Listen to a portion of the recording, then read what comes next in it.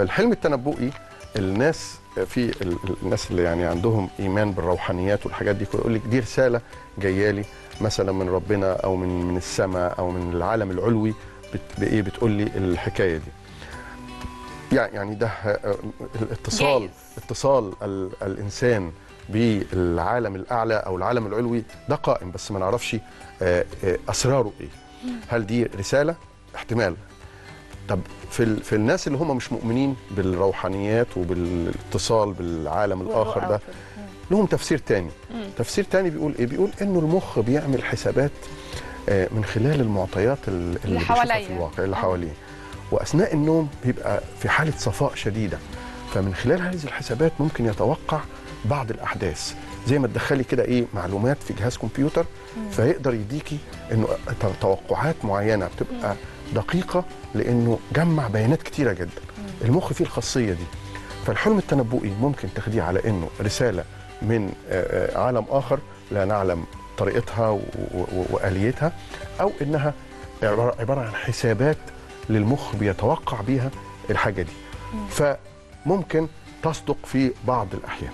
طيب إحنا معانا دلوقتي صورة على الشاشة يا في في صورة دكتور عايز أعرضها بسرعة أنا كده نفسي في الصورة اللي هي أول واحدة على الشمال دي يا دكتور. آه دي هنا ساعات النوم. نفسي أنام كده. ساعات النوم عند ال- الطفل الرضيع في حوالي 16 ساعة عايز 16 ساعة في اليوم نوم. دكتور.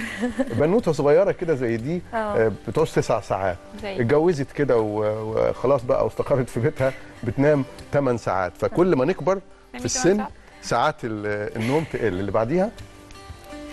الصورة اللي بعد كده. يعني اتفقنا إن البنت في بيت مامتها بتنام أكتر ما بتنام في بيت جوزها. عارفين كده. يعني. آه، هنا النوم المفروض لازم نكون نايمين في مكان آه، آه، الإضاءة فيه خفيفة ما ننامش في آه، نور عالي لأنه آه، الساعة البيولوجية بتاعت المخ بتحتاج إن يكون في مكان هادي وضلمة وكمان ده بيساعد على إفراز مادة الميلاتونين اللي بتحافظ على استقرار وسلامة الجهاز العصبي عشان في ناس بتنام في النور وقدام التلفزيون. اللي بعديها ممكن؟ يعني الناس اللي بتنام في التلفزيون بتبقى عصبية أكتر؟ آه طبعا لأنه ما ما, بيح ما, ما- ما بياخدش الراحة الكافية زي دي كده ال- ال- اللي قاعدة دي قدام التلفزيون. آه آه، اعصاب عينيها بقى كل قدام التلفزيون. والخ- والخطأ الأكبر إن نبقى مضلمين ال- الغرفة وقاعدين قدام التلفزيون بس. ده دي حبسة النفس. في ناس يجي لهم حبسة نفس بالليل. النفس يتوقف.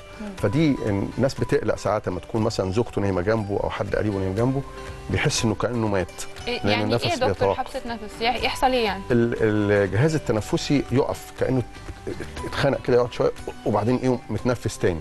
دي اضطراب في في المخ والجهاز العصبي واضطراب في الجهاز التنفسي مع بعض. هقولها عشان الناس بس ما تقل- ما تبقاش تقلق يعني بس. الناس لما بتنام وهي فاتحة بقها كده أصل الناس لما بيحصل كده بيقولوا ده تعبان طول النهار مرهق. ده بيبقى غالبا في حاجة في ال- في الأنف آه. عايزة تتعالج لحمية أو أي انسداد. ناخد ده لو ده. لو ده نومه الطبيعي كل يوم آه. بينام بالطريقة دي. لكن آه. لو عرضية يا دكتور. لا عرضية خلاص مم. مش مشكلة. جميل. ده إيه؟ ده طريقة أو عادة سيئة عند ناس كتير عندي. إنه يحط المخده دي على راسه. شايفة هنا؟ كل الطرق كتمه النفس دي يعني ادخل أكسجين إزاي ده؟ دي يعني جميلة دي أحلى طريقة بقى في النوم. تحس هو حد مسك دماغك جوه. آه، ومالكش هي دعوة. بتعزل الشخص عن العالم وبيعملوها عشان كده يعني طبعا. ليها منطق. بس خطر جدا لأنها آه، بتقلل بيبقى نوع من أنواع الهروب من الأرق يا دكتور الحركة دي. ها؟ بتهرب من الأرق. ممكن. آه والله. آه. اللي بعديها ده ال- النوم المشي أثناء النوم. حقيقي الموضوع ده يا دكتور آه، بقى آه. نتوقف عنده. آه. يعني ده حقيقي. سريعا. لأنه طب يعني إيه؟ ده اللي بيحصل إيه؟ المفروض إن إحنا أثناء فترة النوم الحالم اللي هي المساحة السمراء دي اللي بيبقى فيها الأحلام المخ بيدي أمر إنه الجهاز العضلي ما يتحركش. ليه؟ عشان ما ننفذش الحلم. فنحلم بس ما ننفذش اللي إحنا بنحلمه. ساعات يبقى مع الاضطرابات النفسية القلق والاكتئاب والحاجات دي ال- الخاصية دي تروح أو تتلخبط.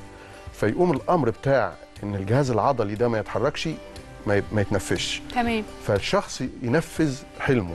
يعني حلم إن هو مثلا ماشي أو رايح الثلاجه يجيب أكل. فيقوم وبيبقى يمشي نايم فعلا يا. دكتور؟ نايم آه. يعني يعني